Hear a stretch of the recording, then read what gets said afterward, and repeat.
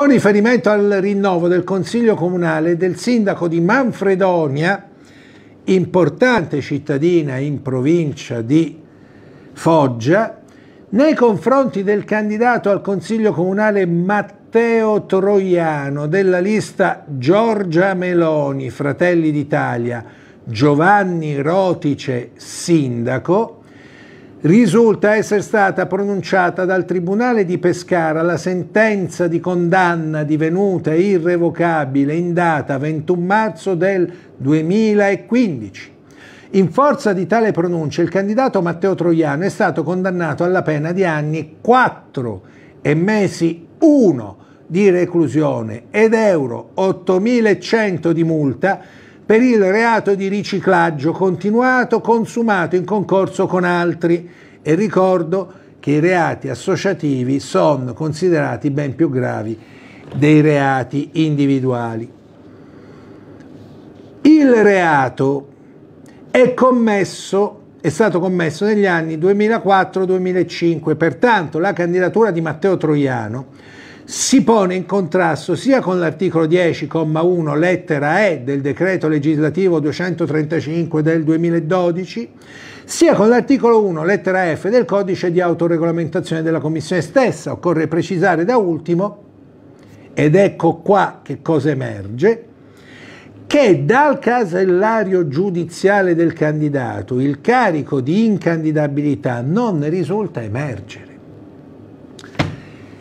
Ora, che cosa significa tutto questo? Significa che i certificati che vengono prodotti dai singoli, suppongo, venendo chiesti al casellario giudiziale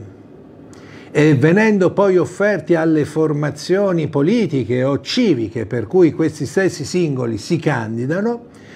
risultano sovente incompleti o non aggiornati. Mi è stato spiegato poc'anzi da un esperto che quando una sentenza diventa irrevocabile quindi definitiva e inappellabile, c'è necessità che la Procura faccia iscrivere eh, dall'ufficio campione questa annotazione sul casellario giudiziale se questa annotazione non viene trascritta, pur essendoci una condanna irrevocabile che quindi rileva ai fini dell'impresentabilità o anche dell'incandidabilità secondo la legge Severino, non essendoci annotazione dal casellario giudiziale, che è il documento che tantissimi chiedono per capire se uno sia, fra virgolette, pulito oppure no, beh, mancando l'annotazione non è possibile fare l'accertamento. Certo, certo, il singolo, e questo lo dico rivolgendomi a tutti gli amici delle formazioni politiche che stanno con sorpresa verificando come tanti documenti prodotti dall'amministrazione della giustizia risultino incompleti oppure non aggiornati, il singolo certamente dovrebbe aver memoria di una condanna definitiva ed irrevocabile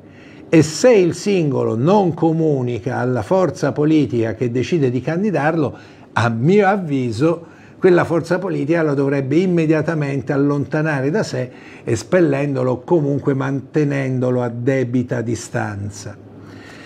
Questo è un altro dei problemi che è emerso stamattina ed è un problema determinato molto spesso dall'assenza di personale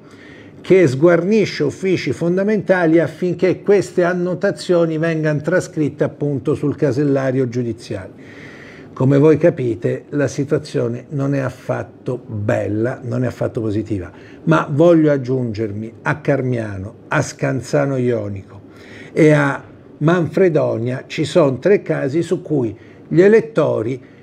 possono decidere in funzione di quanto hanno appreso ora. Certo, sarebbe stato meglio dirlo con qualche giornata d'anticipo, ma se noi gli atti e i documenti li abbiamo noi come commissione all'ultimo, perché gli uffici che precedentemente istruiscono tale lavoro di esame, lavoro di disamina, eh, se i documenti arrivano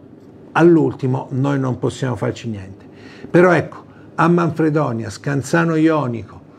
e eh, Carmiano fate attenzione perché fra i candidati vi trovate per ogni comune un impresentabile. Tanto dovevo dirvi e tanto v'ho detto.